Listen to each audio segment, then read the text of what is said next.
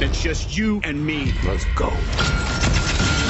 Iron Man 3, PG 13, Friday.